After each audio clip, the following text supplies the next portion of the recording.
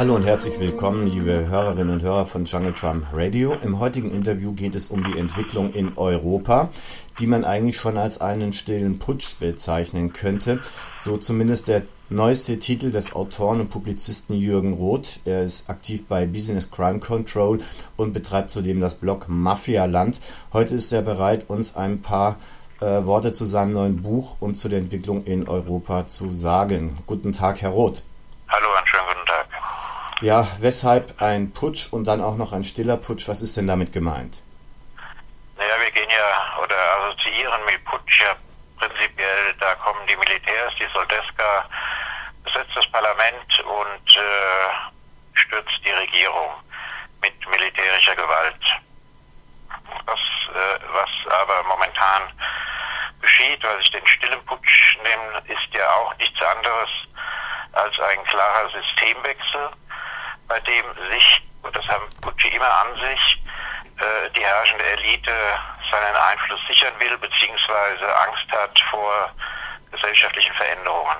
Und äh, das, äh, was ich beschreibe, den stillen Putsch, ist eben ein Systemwechsel hin zu einem neoliberalen, autoritären System, bei dem die sozialen Rechte zerstört werden, in dem die Menschenrechte mit Füßen getreten werden, was übrigens äh, nicht ich sage, sondern die Menschenrechtsbeauftragte des, der Menschenrechtsbeauftragte des Europarats und äh, dass sozusagen bestimmte Strukturen in Europa, wir haben ja eine Sozialkarte, das wird ja leider vergessen, dass die natürlich überhaupt nichts mehr wert ist. Und wenn das so ist, dass hier wirklich ein gravierender Systemwechsel stattgefunden hat, dann ist das nichts anderes als ein Putsch.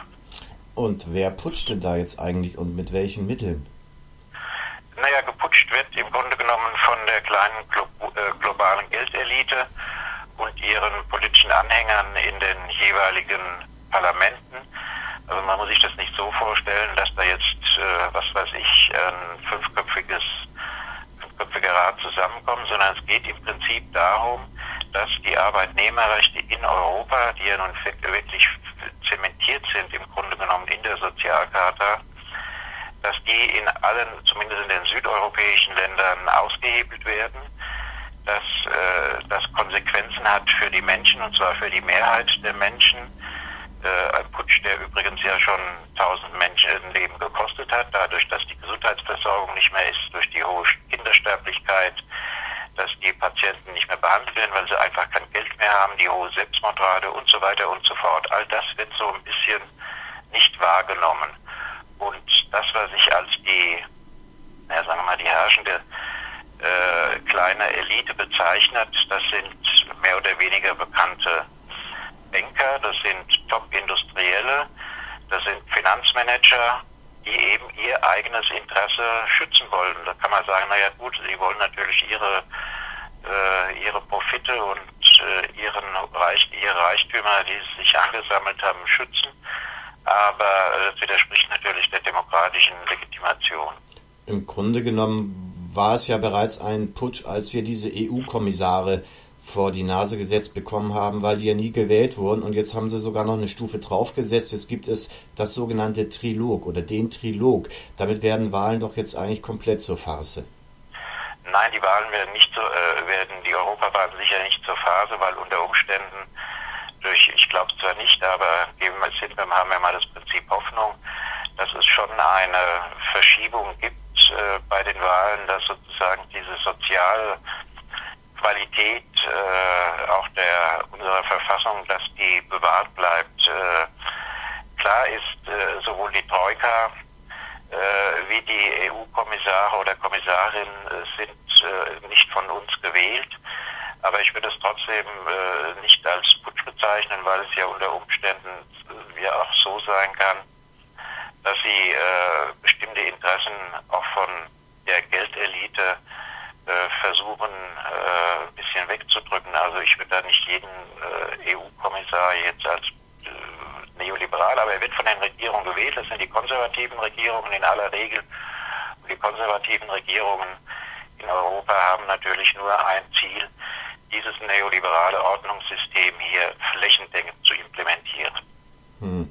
Also wenn man sich mal den Verlauf dieser Bankenkrise genau anschaut, dann mm, wird man doch nachdenklich. Ich will das mal kurz aufzählen. Zuerst verdienen die Banken mit hochriskanten Spekulationen viele, viele Milliarden. Eben weil es hochriskante Spekulationen sind, geht es dann irgendwann schief. Und der Staat belastet jetzt seine Bürger mit Milliarden an Schulden, mit denen er die Banken retten muss. So, oder mit Milliarden Geldern, mit denen die Banken gerettet werden. Die Banken zahlen dazu keinen äh, einzigen Cent. Andererseits muss sich der Staat, um die Banken retten zu können, sich das Geld erstmal leihen von genau den Banken, die ja jetzt eigentlich pleite sind. Das ist ja eigentlich ein Widerspruch in sich. Und jetzt schuldet er diese Summe den Banken mit Zins und Zinseszins. Außerdem werden jetzt mittels Rettungsschirm weitere Steuermilliarden an Banken ausgegeben, damit diese ihre Anleger befriedigen können, zum Beispiel in Griechenland geschehen. Und dafür werden jetzt aber in den betroffenen Staaten, die von den Rettungsmilliarden nicht einen Cent sehen, trotzdem die ganzen sozialen Sicherungssysteme demontiert und privatisiert.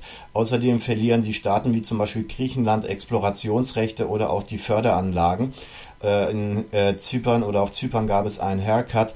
Das klingt für mich gar nicht so alternativlos zufällig, sondern als sei das alles von langer Hand genauso geplant und durchgezogen worden. Könnten Sie sich dem anschließen?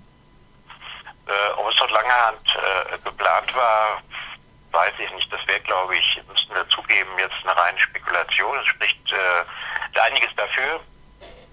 Und äh, das, das bestätigt ja im Grunde genommen auch äh, meine Feststellung, und das findet man ja, ob man in Griechenland ist, in Spanien oder Portugal, also Länder, denen ich mich ja besonders widme. Äh, natürlich haben die konservativen Regierungen und ihre Stadtteile in den Banken, man darf das ja nicht vergessen, dass im Grunde genommen zumindest die Finanzoligarchie, wie man sie äh, gemeinhin nennt, äh, großen politischen, aber wenn nicht sogar teilweise bestimmenden politischen Einfluss hatte und immer noch hat, versuchen sozusagen das Möglichste, die möglichste hohe Rendite aus ihren Investitionen äh, herauszuholen. Das ist aber, würde ich erstmal sagen, na gut, ist das kapitalistische System. Und dieses kapitalistische System äh, wurde ja auch von von der überwiegenden Mehrheit der Bevölkerung äh, gewählt.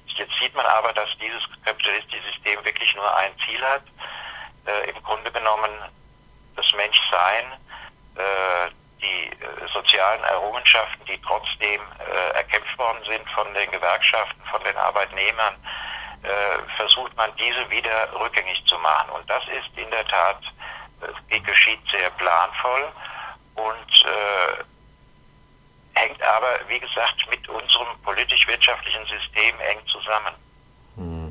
Hm. Nun kann man sagen, die Unterschicht bei uns ist abgeschöpft. Wir haben den größten Niedriglohnsektor in ganz Europa, hier in Deutschland. Geht es jetzt der Mittelschicht an den Kragen? Ist die das nächste Ziel? Ja, die, die Mittelschicht ist schon längst äh, auch betroffen. Wir haben, wenn man gut, äh, man kann Deutschland nicht mit Griechenland vergleichen, man kann es aber mit einem vergleichen, sozusagen die Prekarisierung der Gesellschaft Griechenland extrem weit fortgeschritten ist, in Portugal, in Spanien, fast in allen europäischen Ländern, ist ja auch in Deutschland hier auf dem Vormarsch. Und das betrifft insbesondere gut ausgebildete junge Menschen, die keine Berufschancen haben. Wenn ich mit äh, hochqualifizierten äh, jungen Frauen oder Männern in äh, Griechenland äh, oder in Portugal, in Lissabon gesprochen habe, da treffen sie auf eine, eine riesige Hoffnungslosigkeit. Das ist eine Generation ohne Zukunft, die wirklich sie hat im Grunde genommen nichts mehr. Und ich glaube, dieses, so gesehen sind Griechenland, äh, Portugal, Spanien sind Modelle. Da wird es erstmal so richtig durchexerziert, was dann in den hochentwickelten Industrienationen, wie Deutschland eben ist, genauso praktiziert werden wird. Hm. hm welche Rolle würden Sie denn den USA dabei zuschreiben? Immerhin gab es immer mal so eine Konkurrenz zwischen dem Euro und dem Dollar. Äh, spielt die USA auch heute noch da rein in diese Entwicklung in Europa? Naja, natürlich spielt, äh, spielt die USA, die Wall Street äh, eine ganz entscheidende Rolle, weil sie ja sozusagen über die äh, Banken äh, regieren. Und äh, wenn man sich ansieht, wer sind denn die mächtigsten Konzerne weltweit, das sind das alles amerikanische Konzerne also überwiegend, äh, die in äh, New York an der Wall Street ansässig sind. Das sind riesige Hedgefonds, die zig Milliarden äh, verwalten und die natürlich großen politischen Einfluss dort haben, wo sie ihr Geld anlegen und dann bestimmen. Und Goldman Sachs, wie sie alle heißen, das sind ja alles US-Unternehmen. Hm. sehen Sie denn all diese Vorgänge hier auch in einem Zusammenhang mit diesem transatlantischen Freihandelsabkommen TTIP? Ja, das ist sicher die, die nächste Stufe oder der Versuch, äh, weiter sozusagen hier polit also wirtschaftlichen Einfluss zu nehmen und die noch bestehenden Sicherungssysteme, beispielsweise beim Verbraucherschutz, die natürlich auszuheben, damit äh, das US-Kapital äh, oder sagen wir mal die US-Unternehmen, die großen Konzerne hier ihre Markt weiter ausbauen können. Und das wird natürlich unterstützt von, äh, von der konservativen Elite hier in, in Europa, beziehungsweise auch in Berlin. Also ich sehe da bisher von Ausnahmen abgesehen nicht so großen Widerstand. Äh, der kommt ja in der Regel von den Gewerkschaften und da muss jetzt die Drauf Rücksicht nehmen. Das äh, wird aber, glaube ich, nicht besonders fruchtbar sein, weil sie ja auch mit diesem System verbunden ist. Also äh, das hängt davon ab, wie viele Menschen auf die Straße gehen, sich das nicht gefallen lassen, dass öffentlich wird. Dann besteht in der Tat vielleicht eine Chance, dass dieses Freihandabkommen, äh, dass das nicht durchkommen wird. Aber ich bin, wie gesagt, da sehr skeptisch, weil das Kapital immer noch sozusagen das bestimmte Element in der Politik bei uns ist. Ja. Wenn dieses Demokratiesterben oder das Bürgerrechtesterben in diesem Tempo weitergeht, was schätzen Sie, wo stehen wir dann in 15 bis 20 Jahren? Ich sehe das für die junge Generation, wird das eine Katastrophe sein. Es wird keine sozialen Sicherungssysteme äh, mehr geben und äh, das, was man klassischerweise unter diese Vokabel Ausbeutung subsumiert, äh, wird weiter zunehmen. Der Einfluss des Staates Staatsunternehmen äh, oder Städtchenunternehmen wird abnehmen, weil alles privatisiert werden wird. Und das kommt ja wirklich, wieder nur bestimmten Personen äh, bzw. Konzernen zugute. Also äh, es ist eher eine trübe Perspektive und äh, was sicher hinzukommen wird, dass die Rechten, die Rechtspopulisten, die Rechtsradikalen äh, hier in Europa weiter großen Zulauf bekommen wird, weil die linke Alternative einfach nicht vorhanden ist. Zuerst stirbt der Markt und dann die Demokratie, heißt es ja nicht umsonst. Ähm, Herr Roth, erstmal vielen Dank für dieses Interview. Ich würde Ihnen gerne aber noch, wie es bei uns Usus ist, ein Schlusswort erteilen. Vielleicht habe ich irgendwas nicht gefragt, was Sie gerne noch gesagt hätten. Es ist, äh, ich glaube, man sollte das Buch lesen und dann äh, ist es viel besser, als dass ich jetzt da irgendeinen einen Samen daher schiebe. Ich sage einfach, es ist wirklich eine traurige Situation, dass, wenn man sieht, in Griechenland, in Madrid, äh, in Lissabon gehen Hunderttausende auf die Straße und wehren sich gegen dieses System. Und äh, hier, wir hier in Deutschland schlafen weiter unseren friedlichen Schlaf und äh, erkennen manchmal ansatzweise, äh, dass das, was dort geschieht, auch hier uns treffen wird, früher oder später. Also die Schläfrigkeit der Deutschen und die ist schon beunruhigend. Ja. Der stille Putsch, so lautete der Titel oder so lautet der Titel Ihres Buches. Bei welchem Verlag bekomme ich das denn? Beim Heine Verlag in München. Wunderbar. Herr Roth, ich danke Ihnen herzlich für das Interview. Es war eine Freude. Machen Sie es gut. Ciao.